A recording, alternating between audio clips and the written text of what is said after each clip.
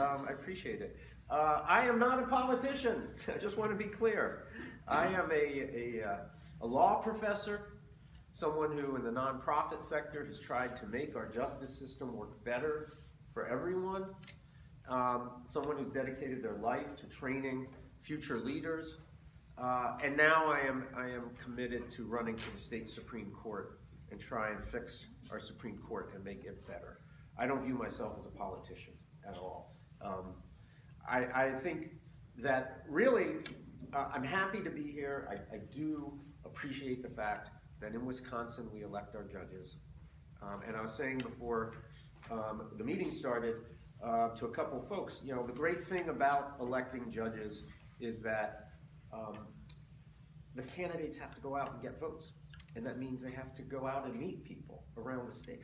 If we appointed our judges you know, I could just sit in my office at Marquette University, call up Tony Evers and say, hey, Governor Evers, appoint me to the court. And that would be the only person I talk to. But because we elect judges, I go out and I meet with folks, and I meet with folks here in Rock County, and Kewaunee County, and Grant County, and I hear their concerns, and then I listen, and when I get elected, and when I go and sit on the bench in Madison, I will be a better judge because I have listened and heard from the citizens of the state. So I appreciate the fact we elect our judges. But of course, electing judges has challenges. And one of them is, is the voters like yourselves. You say, well, how do I know what candidate to vote for? How do I know who's a good candidate for judge? Right? I'm not a lawyer. Uh, how do I evaluate these people who are running for office? Um, well, let me tell you, I, I'm going to tell you how I think you should think about this and the kind of person we should elect to our state Supreme Court. I'm going to tell you um, really just one simple message, which is when it comes to our state Supreme Court, diversity matters and diversity makes a difference. Okay? Um, so I'll tell you a little bit about my background and what that will bring to our seven-member Supreme Court, to have someone with that background on the court. And then I'll tell you how that makes a difference. Um, I am, it's true, I'm the son of a Mexican immigrant and a public school teacher. I'm very proud of that fact. Uh, my father was attending a state teachers college in Pennsylvania. Um, it was called the Indiana State Teachers College in Pennsylvania. I always felt like they didn't know where they were. They subsequently had to change the name because no one could find it. Where in Pennsylvania? I think it was Indiana, Pennsylvania. Is, is actually. Where is that? I'm sorry. I'm, I can't I'm tell a you. Pennsylvania boy. Oh. I think it was somewhat close to Pittsburgh, is all I can give you, sorry. Uh, but my father, during his, his time studying there, uh, he went with a couple buddies, fellow college students, to Mexico City to do a college sort of study abroad uh, program. And while he was there, one of the other American students said, hey, I heard about a party. Do you want to go? My father was always up for a party. He said, sure, I'll go. And his friend said, Well, here's the thing though, I have to go somewhere else first, so I'll meet you there. And the friend gave my father detailed directions to follow. Now, my father never learned a word of Spanish in his life till the day he died. But somehow he followed these directions in Mexico City by streetcar and by bus and by walking. He, met, he found his way to this house in a residential area of the city. And you know what I'm going to say, his friend never showed up. so my father is there all by himself, doesn't know anyone. For some reason, he gets the courage and he knocks on the door. My mother opened the door. It was her birthday party that he was invited to. And she took pity on this American student who didn't speak Spanish and invited him in. And they talked and they got to know each other. And then he returned to the United States and they wrote letters back and forth every single day and I'm happy to see this is an audience where you know what letters are. Sometimes I have to explain, like texts, but on paper. And then exactly a year later, on my mother's birthday, he returned to Mexico City and they got married. And he brought her back to the United States. They settled in the state of Maryland, where they raised four children. I was number two. Um, it was a great love story. Um, they had a great marriage. Um, we were a simple working class family. Uh, teacher's salary, stay at home mom, and money was, you know, we, we did okay, but we certainly didn't have anything like a college savings plan. And I discovered that when my older brother Jim went to college. And uh, the savings plan for college was well, you're going to work and you're going to borrow money and you're going to hope it doesn't run out. Well, after a year and a half, the money ran out, and my brother had to job, drop out of college. And so I was coming up next in the family, and I asked, How am I going to go to college? And the answer was, Get a scholarship. And so, fortunately, I was talented and I worked hard, and I got an academic scholarship that paid my full tuition for my undergrad education and almost all my tuition for law school. And so I was able to get a law degree and graduate and go to work for a national law firm and you know within my first year start making three times what my father was making after a career of teaching. But i understood what education can do for families and what education can do to help people move up the economic ladder and i fully appreciate that. And so i practiced law. Um, i was representing major corporations in the united states. Um, one of my first days at work i was handed a complaint. Loan, our client's just been sued for $350 million. Figure out what we're going to do about it. Um, representing uh, typically large defense contractors, companies that manufactured carrier-based aircraft and cruise missiles. Um, in criminal cases, grand jury investigations, uh, the kind of cases that you see on the front page of the newspaper. It was uh, great for me financially. Uh, it was very interesting legal work. Um, it did not speak to my soul. That's not how I wanted to spend my life, representing large corporations, uh, and in particular defense contractors. So after four years, four and a half years of this practice, I turned to my wife Heidi and I said, you know what? I want to teach law. I want to give other students the same opportunities that my education gave to me. And to her great credit, my wife Heidi said, yes, let's do it. And we moved to Milwaukee and for uh, you know 27 years. I've been on the faculty at Marquette University Law School, teaching constitutional law, criminal law, uh, business law classes, um, and, and training the next generation of lawyers, over 2,300 lawyers, members of the Wisconsin Bar, uh, some of whom are judges. Um, Chelsea Cross is my campaign manager in the back. You probably met Chelsea. Her mother is Judge Danielle Shelton, former student of mine. Um, in fact, I think four of Governor Evers' last appointments to the courts have been former students of mine. Uh, State Representative Evan Goyke in the legislature uh, is a former student of mine, big supporter of my campaign, uh, and many, many other leaders around the state. I'm, I'm probably as proud of the lawyers who are community leaders who have gone on and uh, are head of the Rotary or the United Way in their local community and are making a difference and giving back. Um, but I haven't just been teaching. I've chosen also to give back to working families in our state because I remember how it was growing up in a working family. And so I have led nonprofit organizations that try to assist and help our working families in our state. So one organization I led is the Latino Community Center. Now, this was a, a group, um, I became president of the organization, a nonprofit located in one of Milwaukee's worst neighborhoods. Uh, it had the highest teen dropout rate in school. It had the highest teen pregnancy rate in the city of Milwaukee. It had the highest gang activity rate in the city. And I led the organization in purchasing a building. Uh, we put in a kitchen that could serve a free hot meal. We had a computer lab with 14 computers. Uh, we even had a little breakdance stage with uh, sound equipment so students could learn breakdancing. And after school, every day, we'd have hundreds of kids in that center, supervised, getting homework tutoring, getting a free hot meal, and being safe until their parents could come and pick them up about 7 p.m. Because these were kids who get out of school at 3 p.m. and they were on the street. They were latchkey kids.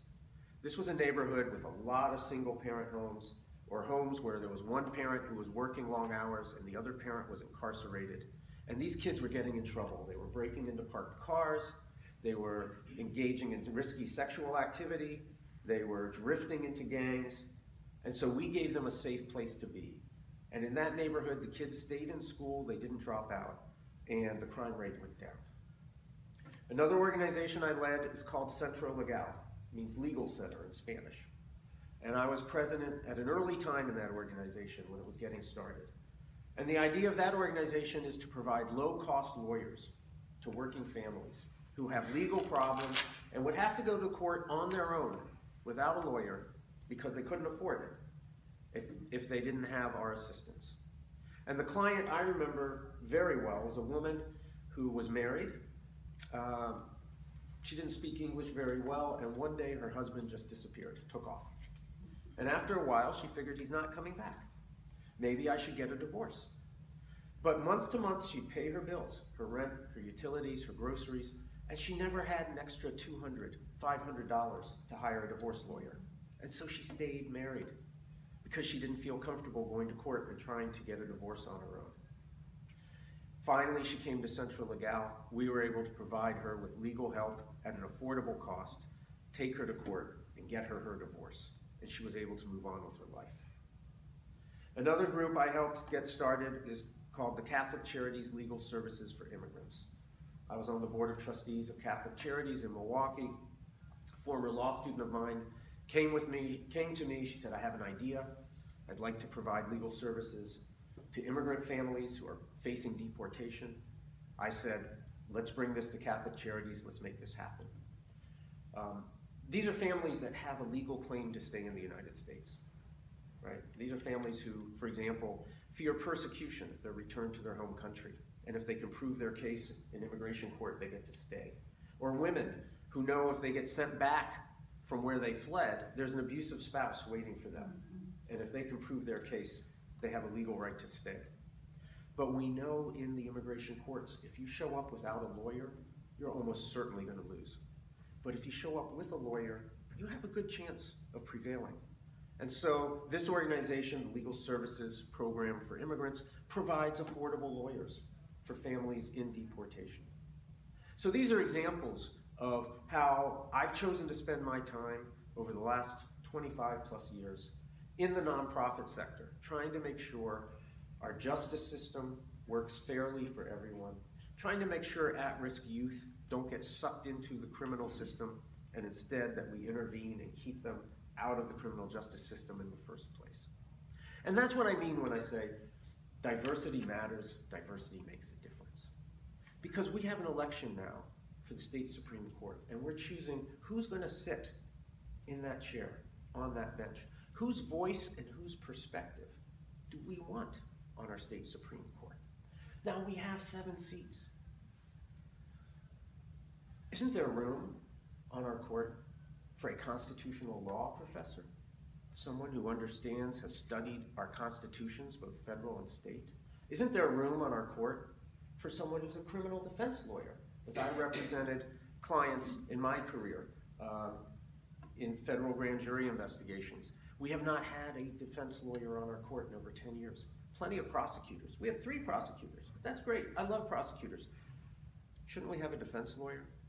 We don't have anyone on our court who's chosen to spend their career standing shoulder to shoulder with our working families and our vulnerable immigrant communities and understanding what are their needs and how can the system address their needs.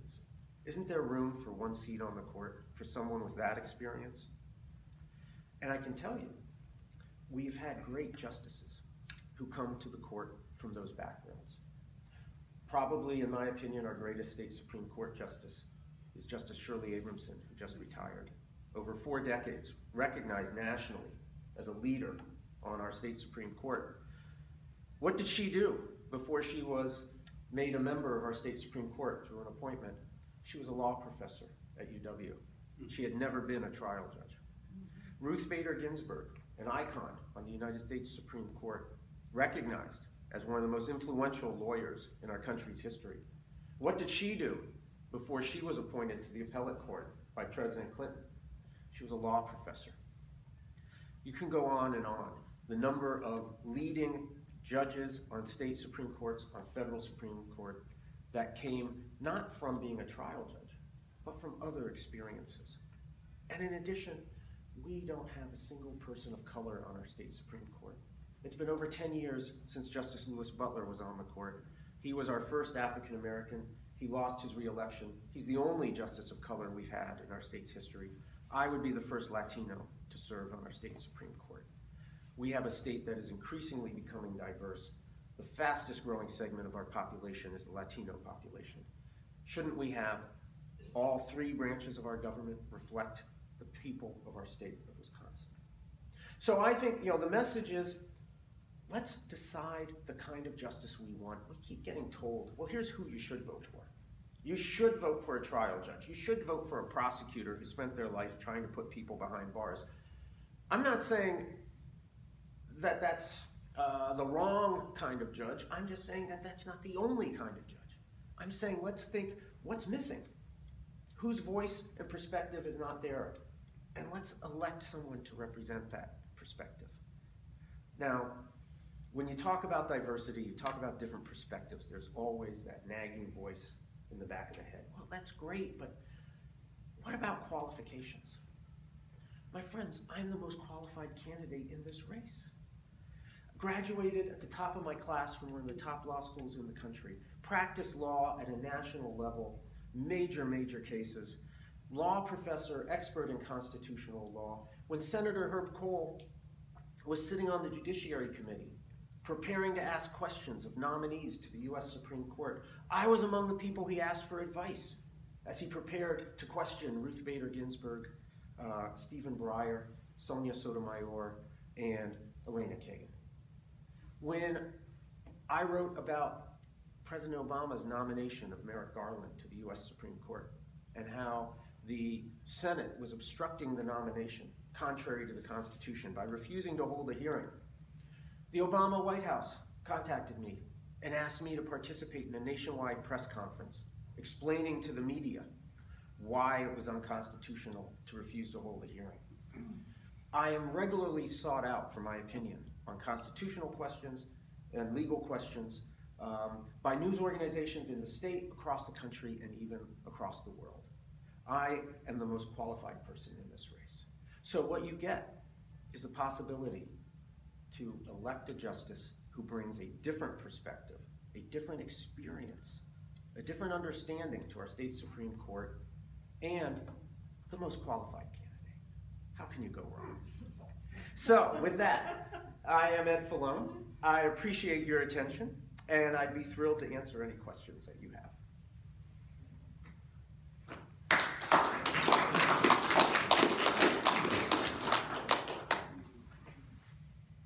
Yes? Uh, you brought the subject up and it triggered a memory when uh, Garrett was trying to get the Obama candidate voted on. Uh, I heard talk that it was possible Obama just could have appointed him on recess or something like that. Mhm. And, uh, did you, is there any qualifications for that in your mind? Um, If the, when the Senate was recessed, he could have just appointed him or something, or? Yeah, there, there were some arguments that President Obama could have done a recess appointment. Um, it's, the Senate began operating, especially during the Obama presidency, under different um, parliamentary rules where they claimed they were really never in recess. Um, and so it would have become a constitutional case uh, had Obama uh, chosen to go in that route.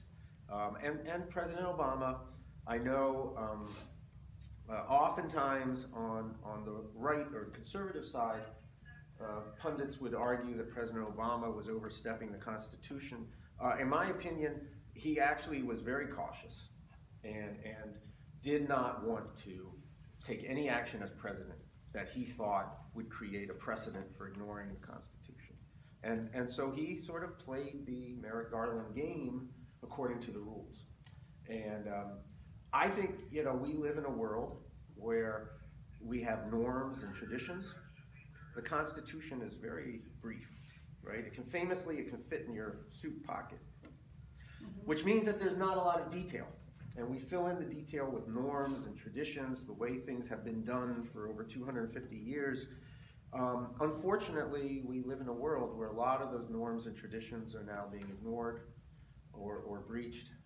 And this is, I think, one of the reasons why we have um, this sort of never-ending political crisis is, is we don't have detailed instructions. Uh, and so I think it is important to have...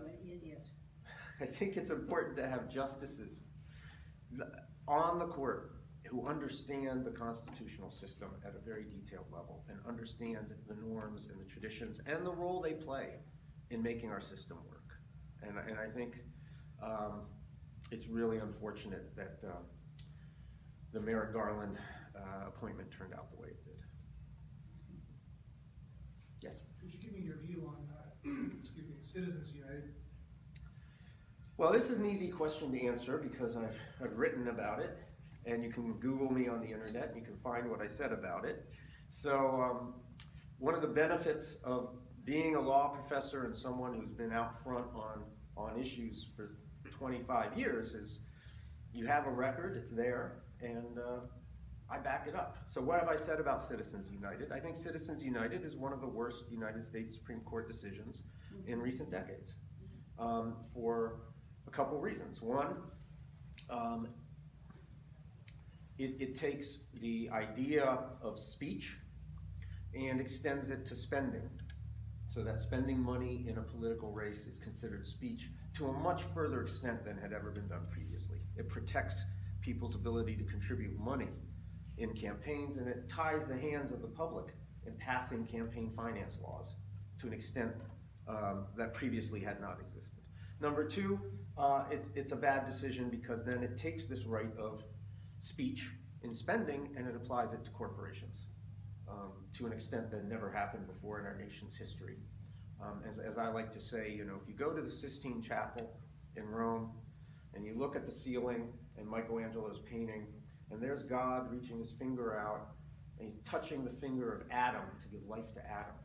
You know what I'm talking about? Well, he's touching Adam, he's not touching Exxon. You know, God did not give life to Exxon. Um, and, and certainly our Constitution was not written to extend rights to anything other than natural human beings. That was the whole philosophy of the founders. Um, so what we have here is, is, is a decision that I think used free speech as a Trojan horse. And, and this was a clear um, strategy.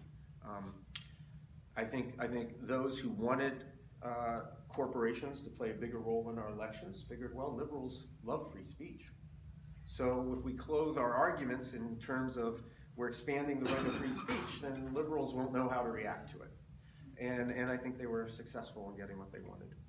Um, I think there is still room for um, uh, legislatures to regulate campaign spending to a certain degree after Citizens United, maybe not to the extent that existed previously. Um, one of our challenges as a society is sometimes you get a Supreme Court decision and, and there becomes a battle for the hearts and minds of the public. And so one side will say the decision means more than it does and try and convince the public of that. So we have many people who try to argue the ability to regulate campaign finance spending is gone. Well, I think that overstates it. Certainly it's restricted, um, but uh, I think there is still some constitutional means to regulate campaign spending.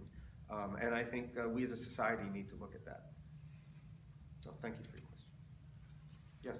This might be kind of related to the last question, but like, um, these groups are tax exempt, and then, um, is there any, the courts ever been taken?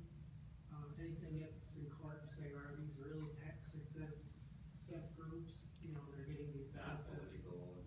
Yeah. Yeah, political groups, they're doing all this stuff, and then, Yeah. know, Well, I think, I think wh- when you talk about tax exempt, who pays taxes, who doesn't? Um, it's not a constitutional question by and large, right? I mean, Constitution is, is not, um, it doesn't take a side on who should pay taxes. So it's left to the legislature. And, and we have tax laws that are notoriously complicated, and they do set a standard. If you're going to be tax exempt, you're supposed to avoid partisan political activity, you're supposed to focus on education and sort of general issues. Well, that standard, of course, has to be enforced. And so I think the real issue is enforcement. And, and it's not a court issue, it's not a legal issue, it's whether or not we have uh, a particular presidential administration that's willing to have the IRS devote the time and the resources to actually punish groups that violate the standards. And it's incredible to me. This is not a legal issue, so it has nothing to do with the kind of justice I'll be. It is incredible to me to see how lax the enforcement of the tax code is. Fewer and fewer individuals get audited, and, and next to no advoc- advocacy groups get audited. They just don't enforce it. Why? Boy, you want the cynical answer? Um, Yeah, the cynical answer is both, both sides in the political debate think they have an advantage under the current system. That both sides think that they would rather uh, be able to use these advocacy groups as, as a way of, um, gee, I almost said laundering money. It's not laundering money, but it's a way of funneling political uh, mm, support and contributions uh, to where individual human beings don't have to get associated with it. Both sides think it benefits them. That would be my answer. So I wish I could give you a better answer. Um, but you know, let, let me say this. Let me say this about about politics. Um, I am the candidate in this race who is devoted to running a campaign that is not partisan. I think we all share an interest in making sure our political elections are not run like judicial elections, and judicial elections are not run like political elections.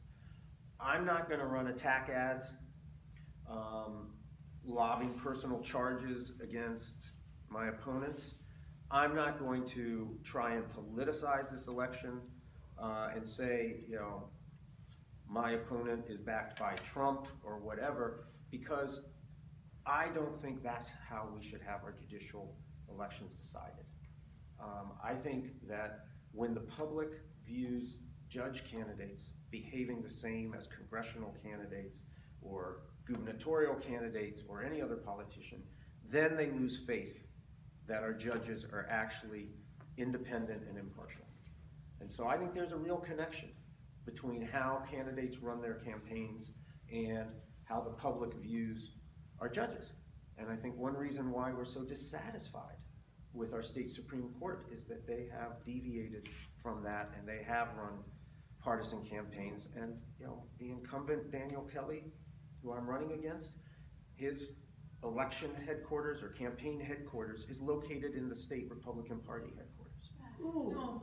Ooh. So, I mean, how can you run a campaign that way and then once you get elected, tell the voters, oh, I'm impartial? Right? I've gone out, I've hired Chelsea Cross, other staff, complete independent staff, funding my campaign. I'll take contributions from everyone. I'm happy if you're a progressive. I'm happy if you're an independent. I'll take your money if you're a Republican. Trust me. But I'm running an independent campaign, and I'm running a nonpartisan campaign. Are there states in which the Supreme Court is not uh, partisan at all? It's the way it should be? Um, well, usually what happens is either your state that elects their judges, in which case typically they're nonpartisan positions, or you're state where the judges are appointed. And there's not a ballot, so there's no Democrat or Republican, but if you're appointed, you're pretty much, it's clear what side you're on. Um, there's arguments for both. I understand. Some people think because of the way money gets into elections, it might be better to have an appointment process. But I think, you know, then it's still political. It's just it all happens behind the scenes. Um, I tend towards thinking elections are better, even though it's challenging. Let me tell you, as a candidate, um, to try and run a nonpartisan race, it, it is a challenge. Yes.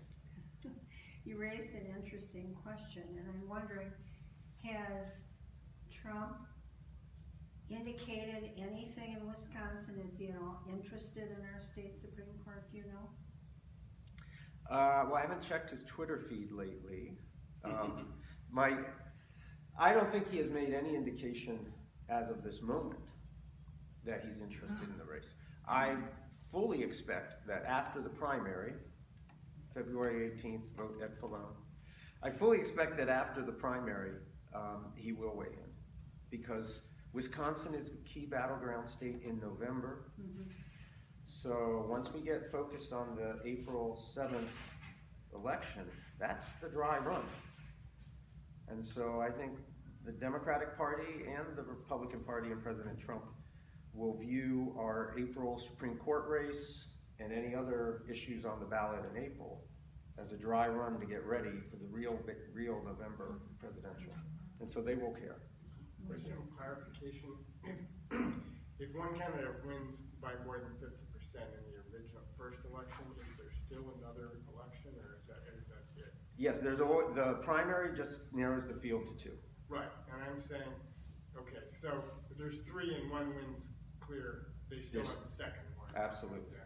Absolutely. There's no, there's no system where, uh, someone who wins the primary by a higher threshold. um, Well, sometimes it's over fifty percent. That- that can be in- in different offices. And in other places, they don't Okay. get called. Right, but not this one. So the incumbent, if the incumbent would come in third, would be out of the race, is that right? Absolutely. Okay, Yeah. And you can hope for that. It's not gonna happen. okay. Uh, I, I get a lot of folks, um, who, uh, who tell me that they're having a difficult time deciding in, in the Supreme Court race. Um, I don't know why. I think clearly I'm the most qualified candidate. Um, but I, I think it's fair to say that, that Daniel Kelly, the incumbent who was appointed by Governor Walker three years ago, he's now seeking a full 10-year term. Um, I think it's fair to say that he will be one of the top two vote getters. And I'll be the other. I tell you that, um, our granddaughter turned eighteen on the 29th of December. And the first thing she, that was a Sunday, Mhm. the first thing she wanted to do on Monday was register to vote. Well, I applaud. I And applaud she that. is going to vote, and she said, take notes tonight because she wants to know all about you, so. Oh, well. Well, we have video. You know, the, the, this is a great organization. It's, it's the Rock, Rock County Progressives, right? Um, the word progressive has a very, um, a wonderful tradition in our country and in our state, as, as you know. And, and to my mind, um, the real core meaning of progressive is, is the belief that the more people who vote and have a participation in selecting our government, the more legitimate government is. I mean, to me, that's what progressive means. And so when we talk about things like gerrymandering, voter ID, to my mind, these, these threaten the core values of any progressive because it would limit the number of people who get to participate in, you know, the laws that we live under, and that limits the number of people whose voice is heard. If you go back to the start of the progressive movement, I think it was all about expanding the number of people who have a role. Um, and that's, that's one of the sad things about our time. Because if you believe greater participation means more legitimate government, then that seriously, we, we have a, a real question about legitimacy right now. Yes. So that was almost my question. Um, right now, it's a pretty conservative court. yes, You agree with that? absolutely, five to two. So you're gonna be, you're gonna have a tough time swaying the court, or it'll, you'll have a tough job, I think, getting things passed that help, Let, let me, let me push back on that. okay? Because um, I'm the candidate who's, who's running a nonpartisan race here. I am not attacking anyone, um, demonizing anyone, and I'm not demonizing the conservative majority currently on the court. I'm not sure how a candidate for the state Supreme Court can expect to run a campaign lobbing accusations against five sitting members of the court and expect if they win be able to work with those people. Um, I know all the justices on the court. As a law professor at Marquette Law School, I've met them all, socialized with them at different functions. Um, they know me, I know them.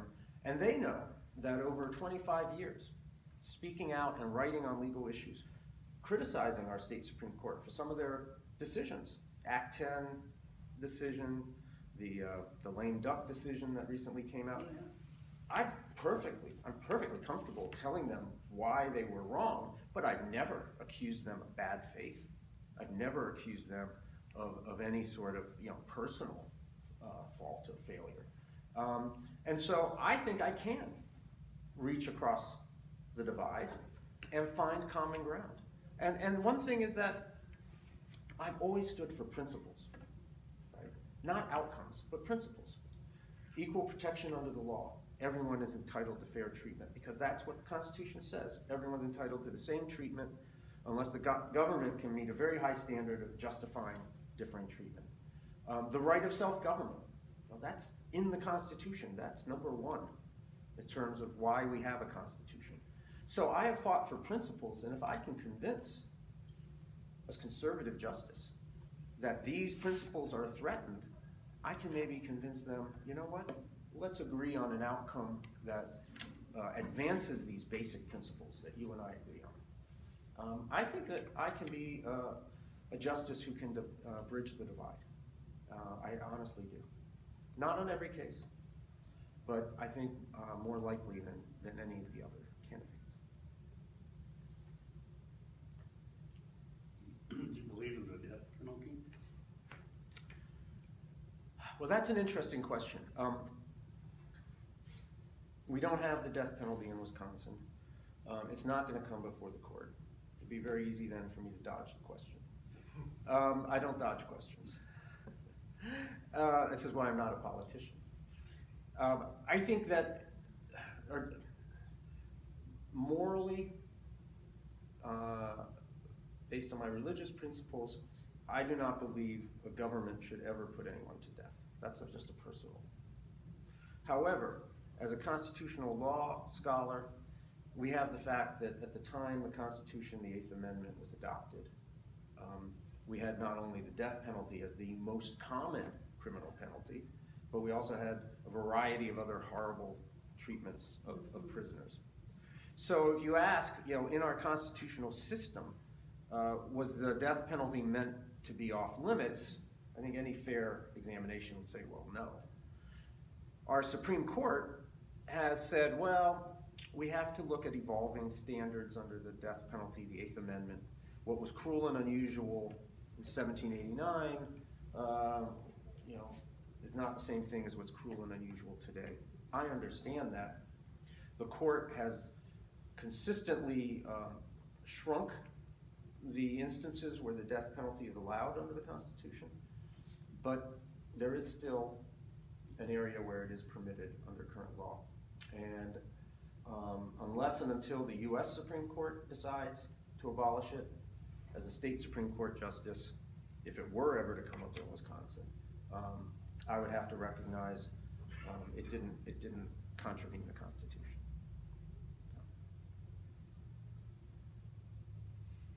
He doesn't believe in it. Well, not personally. A lot of things I don't personally believe in. Look, let me just say this, right? Uh, We don't either, it's okay. my, no, my, my primary value is that we get to govern ourselves, Mhm. right? I mean, that's when, when, uh, when we had our revolution from England, uh, it wasn't no taxation. We're free. We have a right not to be taxed. That wasn't the cry. It was no taxation without representation. It was because the tax laws were passed without our voice being heard. That was the objection. And it comes from the idea that we govern ourselves, not someone else. Now, if I believe that as our core principle, if a legislature validly passes a law that's not in conflict with our basic constitutional rights, even if I don't like it, my core value is we govern ourselves. So I would feel obligated. The right of self government means, as a judge, I must respect the will of the majority unless it contravenes our constitutional core rights. And so when I talk about, you know, well, I don't think the death penalty violates that constitutional core, then even if I don't like it, I would have to respect that result. Because I think it's more important to uphold our right of self government. Yes, sir. Would- you consider Wisconsin legislature to represent the majority? Well, now, that's, that's a question about gerrymandering. Um, and I think, um, we have the census coming up. After the census is done, the Wisconsin legislature will draw up new legislative maps. Um, I'm sure they will gerrymander the heck out of them. It'll go to Governor Evers to sign. Maybe he'll veto them and they might override the veto. Maybe there'll be some negotiation where they back off a little bit and he agrees to sign. Somehow or other, we'll get new legislative districts. The day after that happens, a lawsuit's gonna get filed. It'll be filed by the ACLU and the League of Women Voters of Wisconsin, because that's who challenged these cases. And it will go on a fast track to the Wisconsin Supreme Court.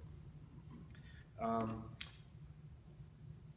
I can't comment on how I would rule in that case because I want to be on the court and I want to be able to rule on that case. And if I express a clear opinion, one way or the other, I will be asked to recuse myself as, as having already made up my mind. And I think it's important to have an open mind. And to be honest, while I can absolutely predict who's going to file the lawsuit, I can't predict exactly what their legal arguments are going to be. And so I should have an open mind. But even though I'm not going to comment any further on that question, I've already talked about my core value under the Constitution, which is that we all have a basic right to participate in the making of the laws we live under. And I cannot foresee uh, voting to uphold any law that undermines that basic principle. Yeah? Um, I admire your nonpartisan stance, and I- I totally understand why you're taking it. What do you say to people who are worried that in a polarized setting, that'll mean you're less likely to get elected? I get it, I mean, that's what we hear from people, that's why supposedly the last person who ran, the woman who ran, didn't get elected in prior.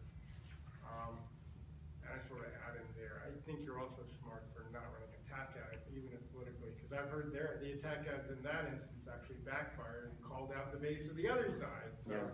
In any event, what do, what do you say to that?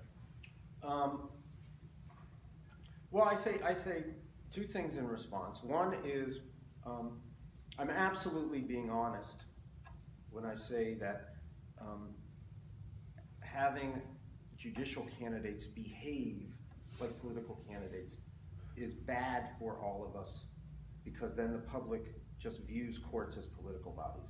Well, all courts have, right? The only way they can, can enforce or influence us is, is if we go along with what they say. They don't have a police force, they don't have an army. They're not gonna force us to follow their decisions and live our lives according to their decisions. We just do it because we trust, well, that must be what the law says. And if we stop believing that's what the law says and we start thinking, well, this is just a political declaration, then maybe we don't listen to them anymore. I mean, that's when we talk about the legitimacy of the courts, this is what we talk about. The other question is, is more a tactical one, which is, you know, That's what I was wondering. you know, I guess, you know, maybe I'd rephrase it, can a good guy win? Um, I am very clear. Um, I think I'll win if I talk about my principles and my values, and not just in kind of this vague, I, I, I believe in treating people fairly, but in terms of, no, our Constitution guarantees all of us equal treatment under the law unless the government has a really good reason to treat us differently, and that's why it's wrong for businesses to discriminate against gay and lesbian customers, right? And that's why, um, you know, it's wrong to ban people from entering the U.S. just because of their religious faith. Um, so I think I can energize voters to support my campaign if I can explain to them these are the basic principles I have fought for my entire career. And this is not new. It's not like I say, oh, I'm going to run for the Supreme Court. I better find something to believe in. Um, it's amazing to me. We put on my website, falloneforjustice.com, there's actually a tab, Writings. Click on it. You get everything I've written over 25 years about Act 10, the Trump Muslim ban, when Governor Walker tried to charge fees for the right to protest. Um, it's all there. Opinion pieces I wrote um, about um, uh, you know, why it was wrong for Marquette University to refuse to hire a lesbian employee because they said uh, she didn't reflect the, uh, the image they wanted to project. It's all there. So I absolutely believe if I simply state my principles that I have fought for, I will energize voters to come out. And sometimes people say, well, but that's partisan, right? I say, no, it's not partisan. Because how can I swear to uphold the Constitution if I don't defend equal protection? Because that's in the Constitution. How can I uh, swear to uphold the Constitution if I don't defend the right to vote? Because we have a constitutional right to vote. So for me, it's not about partisanship. It's about just explaining this is what I fought for my whole career. I, I, I think actually that's the right answer, in my opinion. It's not, there's a difference, and I would say what you're putting forward, right, is your progressive values. You don't use that word progressive, not everyone sees it the same way we do, but essentially, that's what's winning these days. I mean, Yeah. people are ready, I think, for a progressive alternative. Yeah. And when they hear that, that's gonna bring them out, and, and as you said, that's not partisan. That's That's- different. it's not. Right, Not at all. Right, that's Absolutely. putting your values forward. I agree. So thank you for agreeing that that's the best answer. Yes. Go ahead. There's been, uh, just now this week, I think was, yeah, reading some more where they're, um, promoting another round of voter suppression. Mm. The, uh, knocking people off the voter rolls. Yeah. You, uh, have any insights as to what's going on there, or how that should, should get handled in the courts? Well, I'll tell you what the, how I view the two opposing legal arguments, if you like. Um, I don't think I'm in a position to, um, to tell you which of the two I think is correct, because the case is ongoing, and to be honest, I'm running around the state, I haven't read the briefs. So I don't think it's fair for me to, to say which of the two arguments um, I think is correct, but I can tell you the two arguments. One, on the one hand, we have um, a state law. So this is to knock people off the voter registration because There's evidence they may have moved, and they have conflicting records in the state system as to what your home address is. Um, and this is a, something that happens. I mean, people move, they're no longer eligible to vote at their old address, and they just haven't updated their voter registration. And so there's probably about 32 states that participate in a program that helps the states identify voters who have two different addresses, and uh, then there's a process, they call it a purge, which is, that's the word they use, it's not a great word. Um, But then there's a process where the state attempts to contact the individual and say, hey, we have two different addresses, which one is it? And then you have some people who reply and some people who don't. And the current law requires uh, that if there's not a reply, that individual gets dropped from the voting rolls. So you have a law that seems pretty straightforward, um, and it doesn't seem on its face to be partisan. It's a real question. We don't know where this person lives. Okay, well, that would suggest this is proper. And this is something that happens every year. So it's not like uh, it just happened. On the other side, that law, the way it's written, it's not clear that it applies to the Wisconsin Elections Commission. And you may recall a few years ago, um, we changed the whole system of who oversees elections. We used to have the Government Accountability Board, and then Governor, Governor Walker, apparently Republicans felt the Government Accountability Board had become too much siding with Democrats, so they decided to abolish it, and they created this new Wisconsin Elections Commission, which now has three members that are Democrats, three that are Republicans. Somehow they think that's gonna lead to them working together. In any event, it was created, now it oversees voting rolls, but the law about purges was written beforehand, and it doesn't seem to actually reference the Wisconsin Elections Commission. You have a law that tells an organization that no longer exists that it has to purge. It doesn't necessarily apply, maybe, maybe it does, maybe it doesn't. It doesn't clearly apply to the Wisconsin Elections Commission. So uh, one of the parties opposing the purge says, you know, they sued the Wisconsin Elections Commission demanding they purge the rolls. It's not their job to purge because the law doesn't apply to them. Those are the two arguments, and I think they both have, have validity. Um, and I don't know enough at this stage to, to tell you which I think is right.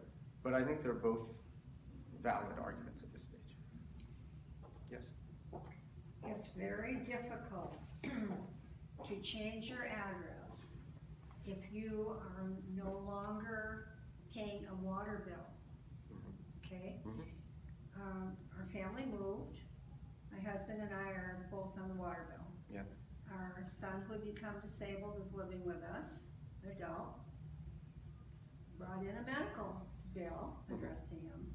That didn't, no, no medical bills are no good. It had to be a It's utility? got to be a utility bill. But, okay, he's not paying utilities, he's Mhm. living with us. So, City Hall said, all right, fill out this application, we will send it to you. You will then have to turn around and send it back. Okay, fine, perfect. It's okay, I'm always trying to save postage, right? I'm going by City Hall, they have a Dropbox. So I called and I said, instead of putting this in the mail, can I put it in your Dropbox? No, it's got to be postmarked. Hmm. That's the law. I mean, there's just these little Yeah. intricacies Yeah. that will make it difficult for people who don't know us. Yeah, Or if someone hasn't voted for a few years and they decide to vote. That's right. There could be no sinister problem Yeah. there. Um, I agree hundred percent, uh, with, with what you're pointing out. And as I said, right, I mean, for me, when I hear the word progressive, I think belief in expanding the vote to as many people as possible. So I actually, you know, absolutely agree with you. Um, there is, of course, in Wisconsin, the option of registering the day of voting at the polls. It can be challenging because then you show up to register same day, but they say, no, you need a utility bill, you go back, and you may have to do multiple trips, and it's not perfect. Um, is this the system I would create? No, it's not even close to the system I would create. Um, I'm not, I'm not hundred percent sure that it is violation of the constitutional right to vote if it's just difficult at that stage. Now, I went through the whole voter ID, you can go to FalloneForJustice.com, you can see what I said about the voter ID law. Um, you know, one of the things I did is I pointed out, um, you know, it needed a, a waiver for people who couldn't afford to pay for an ID. They couldn't be forced to forfeit the right to vote because of an inability to pay. Um, that became a basis for one of the legal challenges. One of the litigants picked up that argument, took it to the state Supreme Court. State Supreme Court agreed. Yes, you can't charge people for the right to vote, but then, this I didn't foresee, uh, the majority of the court rewrote the law themselves to create a fee waiver, which I never imagined in a million years justices would say, well, we'll just say the law is constitutional as long as it has this fee waiver, and we just say it does. So, um, not the kind of system I would write. Um, probably not enough in and of itself to violate the constitutional right to vote, as long as you have same-day registration without proof that the same-day registration is just too onerous. Uh, That would be my response to your situation. Not happy about it, not happy about it. Um, with the whole Merrick Garland thing and the whole Republicans just violating norms all over the place, I mean, that really feels like they're not gonna play by the rules. It's kinda scary in a lot of ways. And then on top of that, I mean, I'm, I'm kinda angry at Obama for not pushing more appointments through. Mm-hmm. Okay, and then you have Trump ramming him through, and Republicans ramming him through, and Yeah. just, which is scary. I mean, sometimes you hear people say, well, maybe we should just pack the courts, and I must say, that sounds, I mean, assuming we got complete control over everything, that's Yeah. tempting. I can see from your expression, you're probably, probably not happy with that, but I'm beginning to think there's no alternative, that we should either pack them or we should impeach them. I mean, one way or the other, because Yeah. it's ridiculous.